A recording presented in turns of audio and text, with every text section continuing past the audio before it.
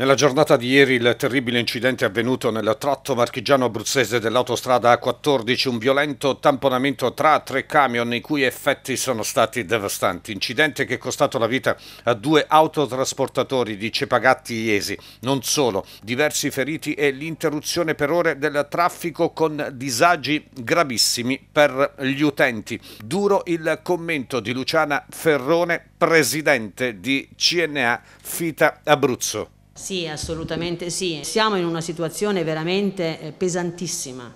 Eh, chiunque di noi eh, va in autostrada si rende conto che è una situazione pazzesca, assurda, proprio incontrollabile. Eh, sul nostro tratto, quindi fino alle due corsie, è decisamente impensabile di mettersi su questa autostrada perché sono code, code, code, colonne che non finiscono mai. Una colonna riservata esclusivamente ai tir che non si possono muovere, stanno fermi là, una colonna dove transitano i veicoli, ma anche loro sono in coda.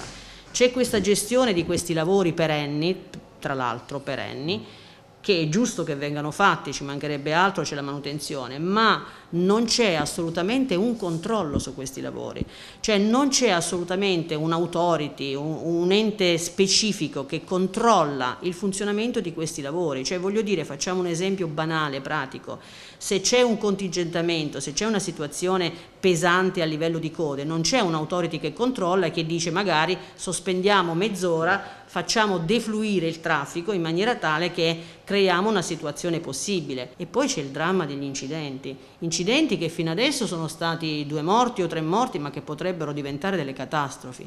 Cioè c'è necessariamente bisogno che si prendano dei provvedimenti seri e riteniamo opportuno che ci sia un'autority che controlli questa gestione di questi lavori. La vostra posizione, la posizione della eh, CNA Fita Abruzzo, di cui lei è presidente da circa una settimana, se non vado errato, ferma, rigida direi. Sì, assolutamente sì. Io parlo per eh, perfetta e diretta conoscenza delle cose perché sono titolare di un'azienda di trasporti e di logistica.